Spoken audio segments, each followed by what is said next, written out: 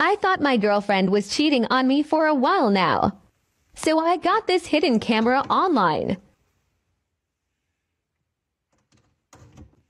There's no way she's going to find this camera.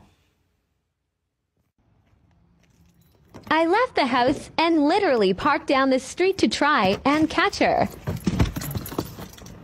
I recorded the live stream on my phone until this happened.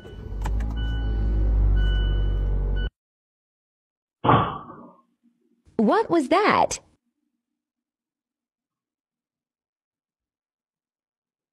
Who TF is that? You have got to be kidding me. Complete waste of six plus years of my life. Thanks, Ashley. Pack your things. She's bringing dudes back to his house to smash on his bed. Next time, don't go for the loose roasties found in America.